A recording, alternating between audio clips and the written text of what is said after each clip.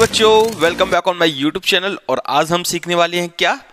हम सीखेंगे यहाँ पे जोड़, घटाव, गुणा और भाग को अंग्रेज़ी में क्या कहते हैं।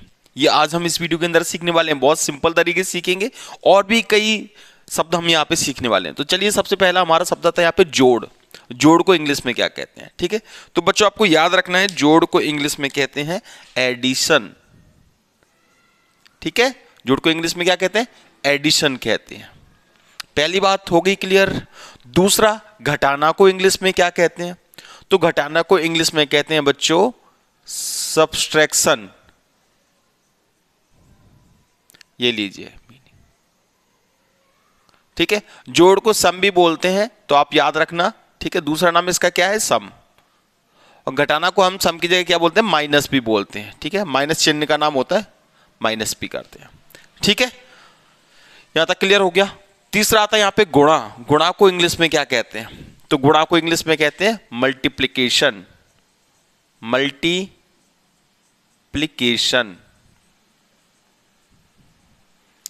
ठीक है?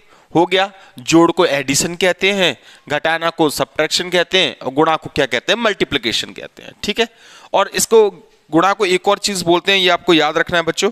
गुणा को एक और बोलते हैं, वो बोलते हैं प्रोडक्ट ठीक है? तो हम प्रोडक्ट भी बोलते हैं तो याद रखना। प्रोडक्ट भी बोलते हैं, ठीक है? तो प्रोडक्ट का मतलब क्या होता है? गुणा होता है।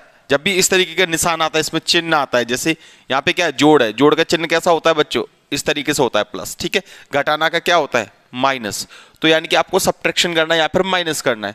गुणा होता है तो कैसा निशान आता है? गुणा का निशान इस तरीके से होता है। होता है? ऐसे ही भाग का निशान क्या होता है? इस तरीके का भाग का निशान होता है। अब भाग को क्या बोलते हैं? तो भाग को इंग्लिश में बोलते हैं डिवीज़न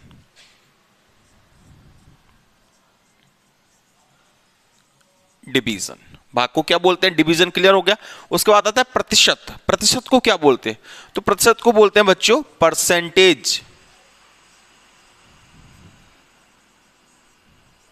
ठीक है? प्रतिशत को क्या बोलते हैं? परसेंटेज बोलते हैं और इसका जो निशान होता है, इसका जो चिन्ह होता है बच्चों, वो होता है इस तरीके का।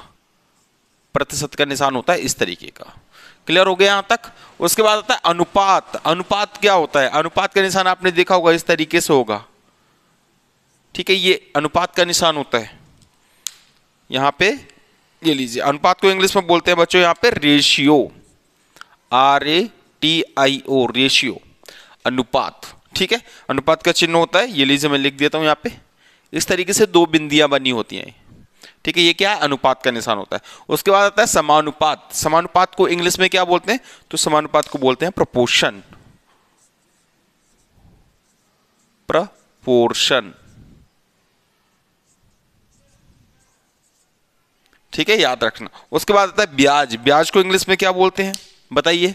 तो आपको कमेंट बॉक्स में लिखना है कि ब्याज को इंग्लिश में क्या बोलते हैं। तो चलिए, अगर आपको वीडियो पसंद आ गया तो प्लीज़ वीडियो को लाइक कर दो और चैनल पे नए हो तो चैनल को सब्सक्राइब कर देते हैं। मिलते हैं एक नई वीडियो के साथ। तब तक के लिए जय हिंद, वंदे मातरम।